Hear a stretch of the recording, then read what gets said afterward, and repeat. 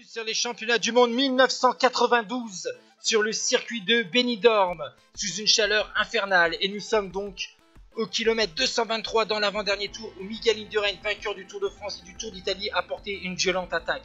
Il est accompagné du Suisse, vainqueur de la Vuelta, Tony Rominger, mais aussi de l'Italien Claudio Capucci, deuxième du Tiro, deuxième du Tour de France et deuxième de la Classica San Sébastien, ainsi que du Français Laurent Jalabert, vainqueur du maillot vert de la dernière grande boucle.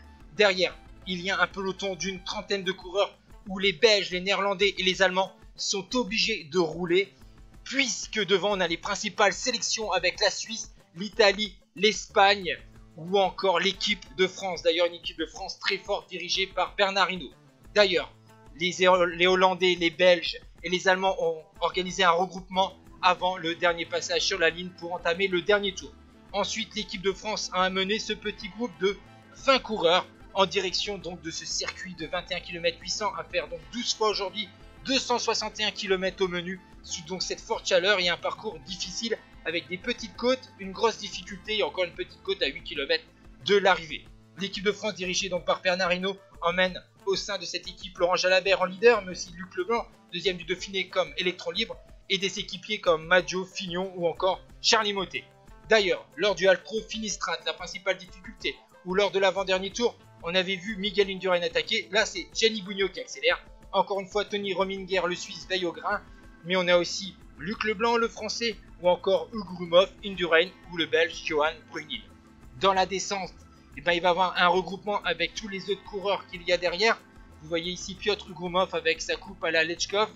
Un petit peu, ben, plus beaucoup de cheveux sur le crâne et une petite coupette. Mais derrière, vous voyez qu'il y a un regroupement, beaucoup de coureurs. On a donc 17 coureurs à à peu près 10 km de l'arrivée lors de ces championnats du monde 1992. Une course très longue, donc qui en plus a été décalée au mois de septembre à cause des Jeux Olympiques de Barcelone. Jean-François Bernard, que vous voyez là, emmène donc ce peloton à 10 km de l'arrivée. Derrière, on a les Allemands, les Espagnols ou encore les Italiens qui surveillent. Mais bien sûr, on sait que les Français vont emmener un gros tempo pour pouvoir permettre à Laurent Jalabert d'arriver dans la dernière ligne droite. Mais Luc Leblanc, de la petite côte à 8 km de l'arrivée, change un petit peu les plans de l'équipe de France.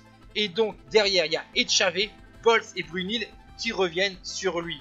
Ils sont 4 à l'avant de la course, mais malheureusement pour ce quatuor, l'équipe d'Italie avec un seul coureur, Perini, va faire la jonction avec ce quatuor. On a donc un groupe de 17 coureurs sur le bord de mer avant d'attaquer donc la dernière ligne droite pour savoir qui va devenir champion du monde 1992. Donc attention à l'équipe de France, donc avec Laurent Jalabert, vainqueur de trois étapes du Tour de Catalogne et du Tour de Burgos, mais aussi Dimitri Konichev, troisième de la Cycle Race, et encore Gianni Bugno, champion du monde en titre et vainqueur de Milan-Turin et du Tour d'Emilie. Et donc on voit Gérard Ruet et Jean-François Bernard travailler dans ces derniers kilomètres pour Laurent Jalabert, mais attention aussi à Steven Rooks, le néerlandais, deuxième en 91. Mais on sait que on va assister à un sprint entre Gianni Bugno et Laurent Jalabert pour ce groupe de 17 coureurs. Et dans la dernière ligne droite, à 200 mètres de la ligne, Gianni Bugno au centre de votre écran, très puissant, va lancer son sprint et Laurent Jalabert ne dépassera jamais l'Italien. Et Gianni Bugno remporte un deuxième titre de champion du monde devant Laurent Jalabert, Dimitri Konichev, le russe 3ème, Rominger 4ème, 5ème place pour Steven Rook, 6ème, Miguel Indurain. Gianni Bugno a donc battu une équipe de France, pourtant très présente sur ces championnats du monde. Ciao tout le monde